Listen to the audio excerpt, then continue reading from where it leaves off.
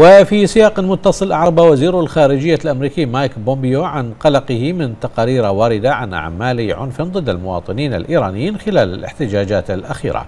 وقال بومبيو إن الولايات المتحدة تشعر بقلق عميق إزاء التقارير التي تفيد بقيام النظام الإيراني بأعمال عنف ضد المواطنين العزل.